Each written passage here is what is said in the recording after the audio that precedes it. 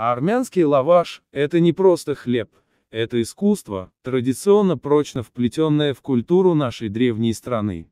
О происхождении лаваша есть много историй, но одна из главных – это история спасения армянского царя Арама. Царь Арам попал в плен к ассирийскому царю Насору, а через 10 дней должен был состояться поединок.